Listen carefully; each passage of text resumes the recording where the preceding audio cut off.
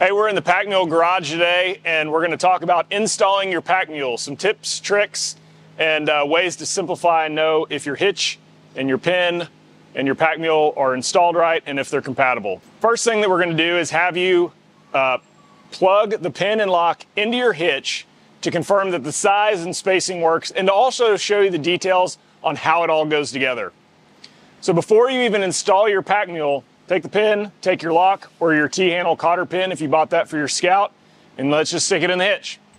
Okay, on this lock, you can tell that uh, the chimney is gonna go over the pin and then it's gonna couple with this chamfer right in the middle. You wanna see that happen inside of your hitch. So let's see how that, that works out.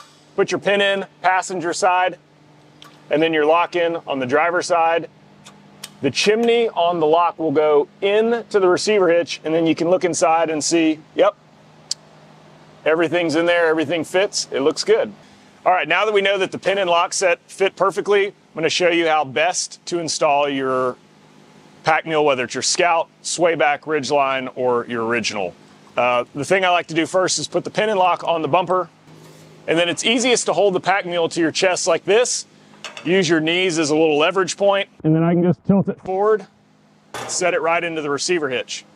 One thing you can do before you actually install it all the way, just to make sure the threads are clear. My pin threaded in all the way. That means my threads are clear. I didn't get any junk from shipping or something else that, that might be in there. Visually line the hole up, check with my finger, but don't move it while your finger's in there because you will pinch the dickens out of your finger. Everything looks good. Now I'm gonna hand thread it in. Thread the pin in, pop the lock on, click, pull on it, that looks good. Finish threading it the rest of the way. When you go to thread your pin in, know that the tolerances are really tight on the Pakmule, the pin, and the hitch. So it's important that as you go to thread the pin in, know that you may have to move the Pakmule around a little bit. You're gonna hand thread the pin in and you don't wanna force it because you could cross thread it. So if you get some resistance, you may need to lift it a little bit, push it down one way. As you'll see in the next part of this video, there's ways you can move it around to be able to clear up those tolerances and make sure that that pin threads in nice and smooth so you don't have any resistance. Once you get it threaded halfway in and you're ready to tighten it up with the ratchet, pop that lock on, snug it up tight, and hit the road. Thread the pin in. You may have to move it in or out just slightly. I normally will use my knees or my legs to kind of move it. And, and the reality is that if the Pakmule is left or right one way when you're trying to put it in, it's, you're gonna, you might have to move it some so that it's square so everything comes together. You also don't want somebody leaning on it. You don't want to have a heavy object on it because it's going to move it and make it difficult. So uh, the Pakmule can, while it's loose, can still move left or right and tilt and all those sorts of things. And if it's pushed to one side too much, the chimney can hit the outside of the receiver hitch. So when you're trying to put the lock on, you go, oh man, it feels like my pin's not long enough.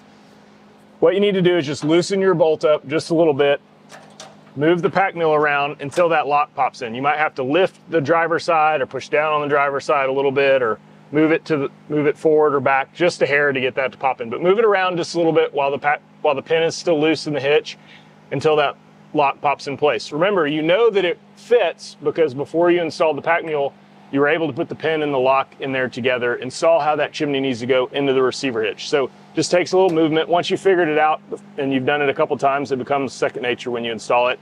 And it goes real quick and you just pop it all in and you're ready to go. Use my ratchet and socket. You can use pliers or channel locks, but it's not gonna be a fun experience. The ratchet allows you to just move it in it's also got a deep throw, so if you've got a chainstay or something there, it's going to be able to extend over it. Make sure you keep that ratchet and socket with you on the road. So if you get to your destination, you find you need to take the Pakmule off, you've got the tool to make that handy.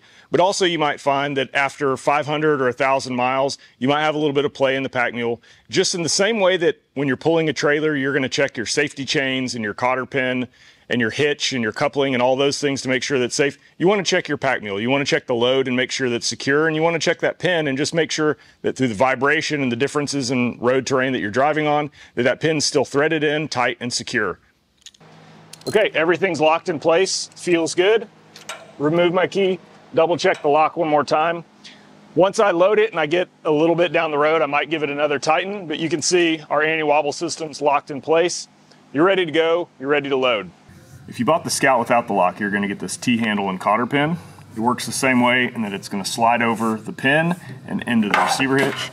So you're going to install the pin, move the Pakmule slightly if you need to, and then you're going to install your cotter pin in place. Finish tightening the bolt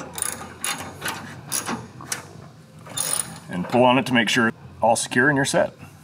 All right, you're at your destination or you've returned from your trip and you're, you've decided you need to remove your Pakmule. Let's walk through those steps so we see how to do it the proper way. In most cases, if it's tightened up and your anti-wobbles set, you're not going to be able to remove your lock. Uh, it, there'll be too much tension on the pin and the lock and the receiver hitch to be able to remove it. So you're going to loosen it just a half turn. Now there are cases, and on this 4Runner, when this is tightened up, I can remove it, turn the key a quarter turn, and I can pull it off. So if you can do that, that doesn't mean that something's wrong.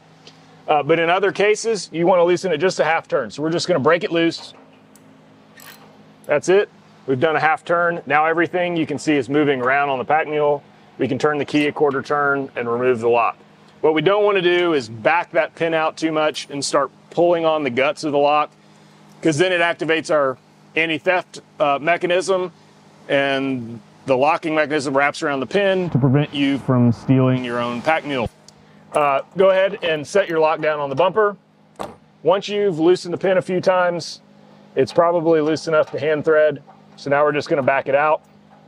I like to slide it out just a little bit, leave it there, thread my pin in, pop my lock back in place so that they're all together when I'm done.